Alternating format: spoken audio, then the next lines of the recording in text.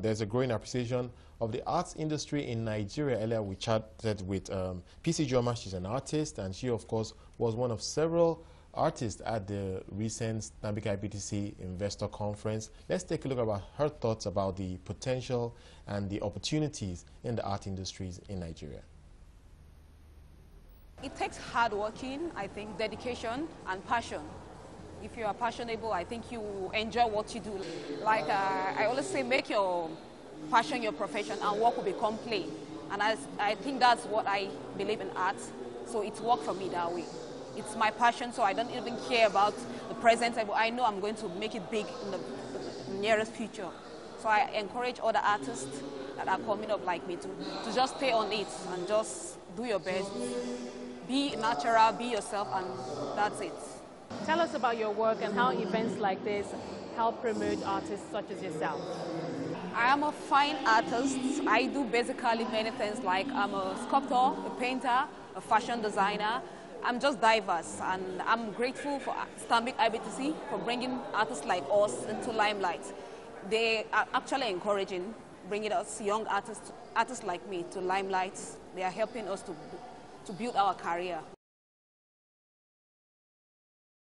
All right, CNBC Africa also caught up with Bruce Onobrakpeya, one of the many artists at the same event. This event is um, arranged by the Stanbic Bank to um, introduce the arts to their audience. It's part of their co corporate responsibility. But I must say that this is very new and very welcome, where the artists meet the audience and interact. Tell us about your work and where you draw inspiration from. Oh, I um, I'm a printmaker. I'm a paint. I'm a painter.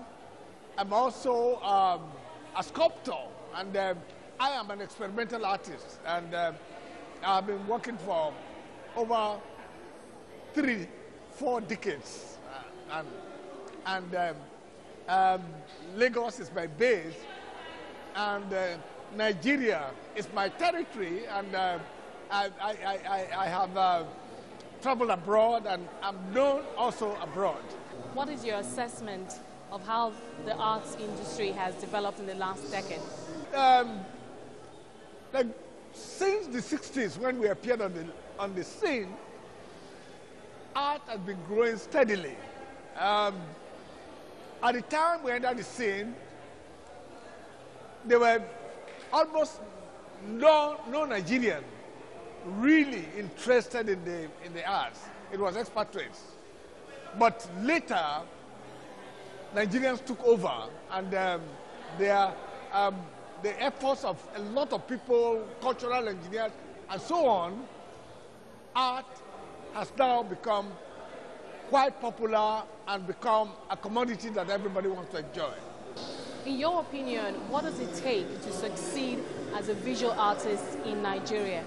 Well, once a person has discovered has um, discovered his interest in the arts, um, and he has few skills, he's got to learn more to get more skills, and then he's got to go on and persevere and begin to work and make the public know know know the work, identify the work, and understand the work.